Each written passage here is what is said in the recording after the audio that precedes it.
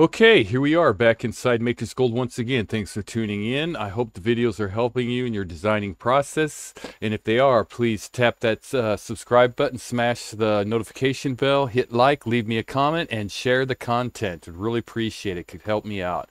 Uh, today we have a request. Uh, I got an email uh, picture on this thing here. So we're going to make some bank today. Uh, and uh, it should be pretty easy so I don't think uh, there's going to be any issues with it and it should be a very short video but I will go ahead and throw in some uh, golden nuggets uh, for FYI information for your information, just in case you don't know about them, right? Uh, so the first thing I'm going to do is throw one of those little nuggets out there. Uh, and I am going to go ahead and uh, let's see, uh, type, well, yeah, type, go down here to my command line and type in add G and, and it'll come up add guide, right? So I'm going to add a guide in here because they request this size 5.5 and 3 millimeters. So uh, I want to keep an eye on three millimeters, let's say. Uh, you know, this is just all hypothetical. You can use these all different kinds of ways, and I'll go into more detail in a later video. But I did want to go ahead and introduce them in case you're unaware of them in this video. So I'm going to go ahead and turn on grid snaps, uh, and I have it set at a 0.5, and it's three millimeters. So I want to go 1.5 this way to the north and 1.5 to the south. So uh, I'm going to go in, just go 1. Well, let's see, let's change it here and then back to here to make sure it's going to snap in my halves.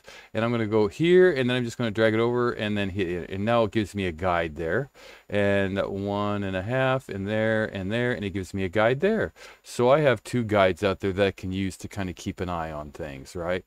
Uh, to make sure I don't go over that uh, three millimeter. Every time I go to a command and click on it and then my... Uh, click on the command, uh, my guides will show up. And if you're not wanting, let's go ahead and turn off grid snaps at this point. I can snap to those guides very easily. So you can set up guides in 3D space. You can set them up in different viewport ports. Uh, you can do all kind of things with these to, to help you in your designing that so you can snap to them. Uh, and we'll do a little video on this later on. And if uh, they're out there and you're not really wanting them, you can go down here to Smart Track and just click that and it'll turn them off, right? So you can turn them off, toggle them on and off right here uh, in your viewport, right? See when I go to that that viewport, okay, yeah. Can't see them in this viewport, but you can in that one and that one. All right, any, anyway. Uh, so I have those out there. And there's one other thing that I, I guess I should want to go ahead and show.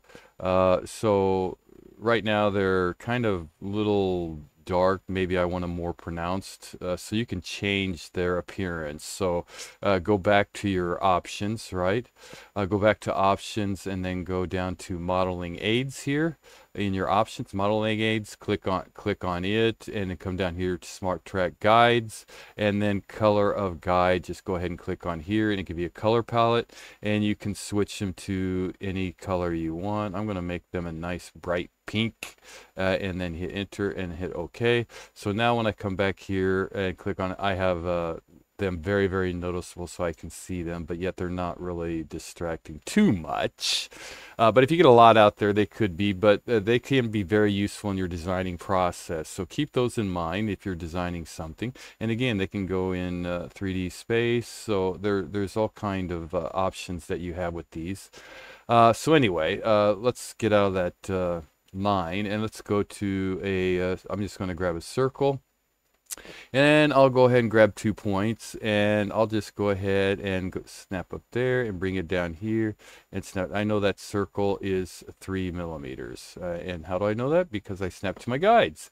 Uh, but if I'm, you know, you want to check, you can just go and then uh, click on uh, the quad there, the quad there, and three millimeters, of course. I'm going to drag this over to this side somewhat and I'm just going to go ahead go to transform and mirror it over to the other side and then hit enter. I'm going to select both those and turn them to yellow so we can uh, keep everything organized. Uh, now what I'm going to do is grab me a line uh, so grab a line and I am going to take it from the north to the south uh, from quad to quad right? Uh, so click intersection quad intersection quad. You can just hold down shift too, but I didn't really have to because my snaps did it for me. So intersection quad and intersection quad, right? So I have those set up. So I'm going to select these two. I'm going to go ahead and split. Oh, okay, they're green. So let's go ahead and change those. I guess I should change to the creation layer. That would probably be better. Okay, this one, this one, come on. This one, okay. All right, so I'm going to select these two, and I'm going to split with uh, this one and this one, and hit enter, and then I'm going to grab all those in the center there and just delete them. I just want the two halves right there, right? And we'll go ahead and do a blend from here to here, and it gives it to me up there. I'll just drag that one on around. This is my second one, so I'll go over here to my dynamic commands, flip second curve, bink, uh, and then I'll drag this one over to a 0.9, and this one to a 0.9 as well, uh, and just go ahead and hit enter. Now at this point, if you don't like this shape, of course, everything's parametric so far, you can drag one out, which, did I break mirror? I guess so. Uh, oh, because I split it. All right. So, but you can drag it out and make it a little bit uh, longer. At least they still connect there. It doesn't move them both out at the same time, but you can get the shape that you're wanting, right? And they look to be a little longer, you know, longer this way. So I'll go ahead and maybe keep it like this here, right? I'm going to go ahead and take all that and I'm going to join it together. And so now I have one closed curve, or one open curve, sorry. Uh, and then I'll go to my offset, offset here. Uh, and this one, I'm going to go ahead and pick uh, through point so I get both sides, or uh, through point so I can move it, right? And then I'm going to go ahead and uh, click on, uh, where's both sides? Both sides, so I get both sides, right? So I'll drag it out. I don't know. Let's see. It's a 0.7. It's a 1.4. Uh, as wide as I can because we're going to have to thin it down because it's outside of our three millimeters, right? So we'll take that. We'll go ahead and take this and delete it. Well, we should have deleted it. We should probably just go ahead and save it. Uh, so save it, right? And then from here, I'm going to just take this and kind of hold down shift and kind of bring it in a little bit so it's closer to my uh, Oh, that's cool. Okay. Well, maybe I don't want that. All right, I hear you. uh, hold down shift this way. Uh, maybe not shift. Give it a little bit elongated, but something like that there, right? Uh, okay, so all I have to do is click on this and then it puts my guides out there. And it's pretty close. By the time you do some polishing on it, it'll probably be right there at three. Uh, and casting, you're going to lose a little in casting, right? So I'm just going to go ahead and keep it like this. Uh, and I'm going to just do my old uh, blend there and just uh, blend these off right here and blend these off right here. I am not going to join them together. I just want those curves together. Uh, let's see what this, can I explode this curve? I think I can. Yeah, so I can. So I'm going to back out of that. I do not want to explode that curve. I want that curve as one, and I want this curve as one. So I'm just going to, to go and uh, go down here to my edit tools and fit tolerance. And then I'm going to go ahead and hit enter. I'm going to right uh, uh, click on that one, right click, and then hit enter. So now if I try to explode them, I can't they're one uh, they're a NURBS curve okay? Uh, so I can't explain and that's what I want. And I want these separate okay? The reason being is I'm not going to make it exactly like this. I figure we'll we'll go into some more detail but we have a line going through and then we have this. It looks like it's uh, kind of got a little curvature on it uh, on those little dollar signs on the bank. So uh, we're going to maybe uh, do a little bit more with it I guess uh, spruce it up on our own. But again it's you know if, if they're just wanting it flat you can just uh, join all that together uh, go to extrude right straight and both sides no and just bring it up where you want it and then there's your straight one right? If you want to just straight. I'm going to go back because we're going to play around with it and spruce it up a little bit. Uh, so here we go. We sit, we have four curves out there. One, two, three, and four. Uh, so what we're going to do is we're going to go ahead, select those curves, and we're going to do an extrude uh, from uh, grabbing the gumball, the ball in on the gumball right there, right? And I don't know, maybe uh, it doesn't look like it's real heavy. It looks like it's pretty lightweight ring. Uh, for bank, I, I would think it would be more heavier than that. But hey, you know, to each their own, right? Uh, so I'm just going to take it up to maybe one and three quarters, something like that. Select it all, and let's make it a little easier on our eyes. Uh, so we have that. Okay, and the reason why I left it with these two, and the reason why, let's see if I could explode that. I shouldn't be able to. I did. Yeah. Okay. Yeah. Uh, the reason why I left, I wanted to fit these curves to make them a NURBS curve uh, or one single curve is because now what I can do is I can go to my surface and go to a blend, right? And hit blend and I can select uh, this edge here and this edge here and it'll give me this nasty thing here. Uh, and I can uh, lock those and then kind of bring it down. Let's go fit same height. Uh, and of course, it's got some nasty stuff right there. So let's go ahead and uh, add a shape.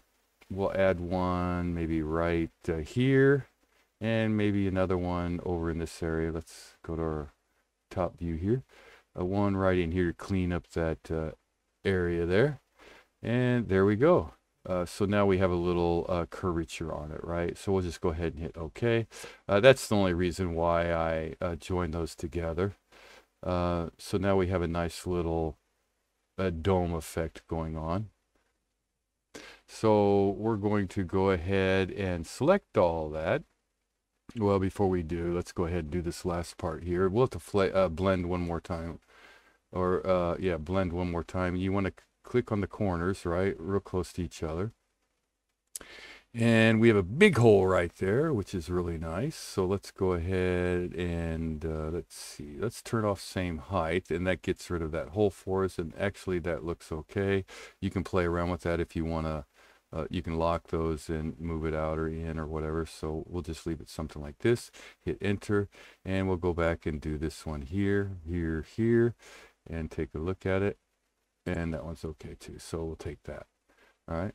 So something like that. We'll go ahead and select it all. We will join it together.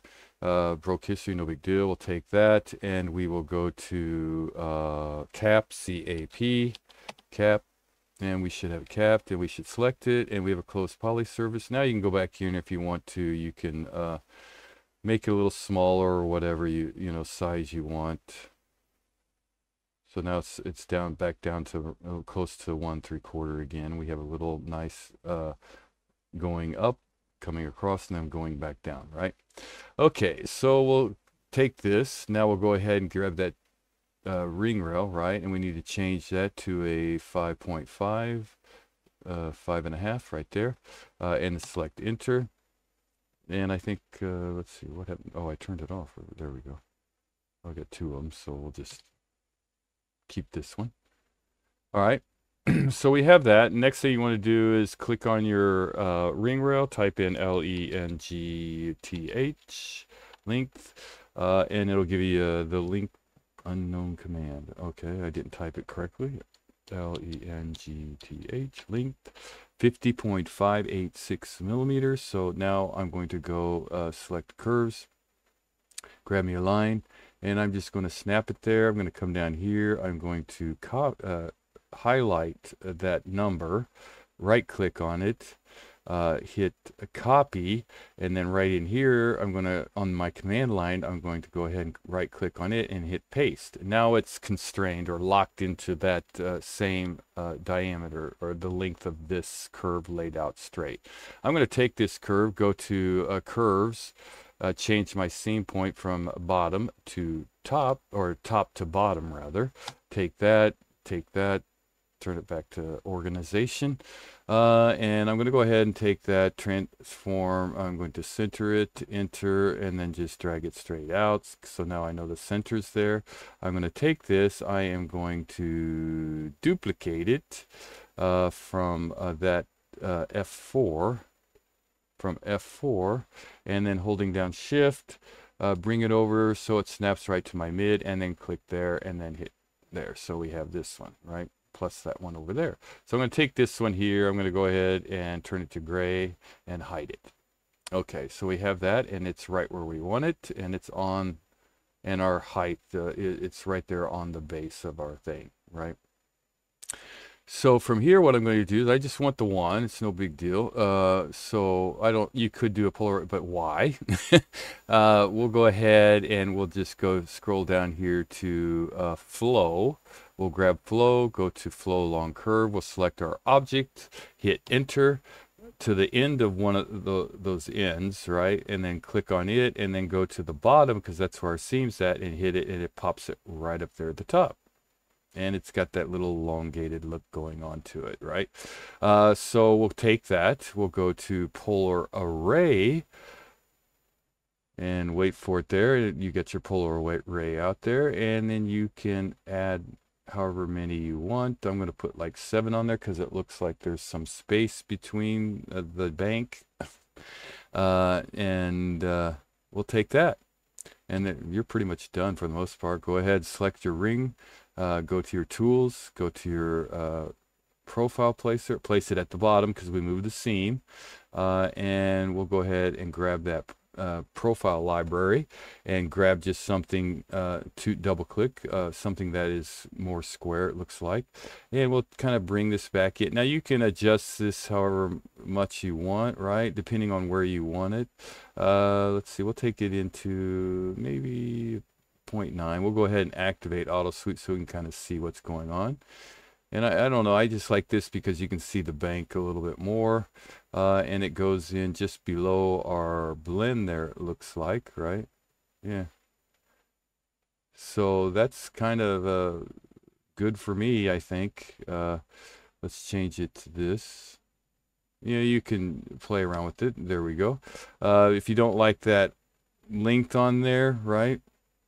Maybe, oh, it's a little too lengthy or whatever, just go ahead and uh, shorten that one up and it'll highlight everything. Broke history uh, on that maybe. I don't know. Did it break history of my polar array? Let's check. Edit. And let's add one more on there. Uh, I put two. Uh, it didn't.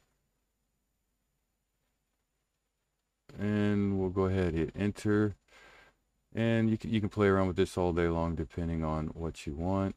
And it updated still so uh, I think it broke history on the uh, duplicate. And just edit away. I love Matrix Gold. This part of it at least. It's just uh, you can really change it up do all kind of things with it. So uh, hopefully that uh, answers your question. Uh, I think that's getting us exactly or pretty close to uh, what you're looking for. If you just want it flat, you you know, like I said, you don't have to put that little dome on there. I think it just adds a little spice to it.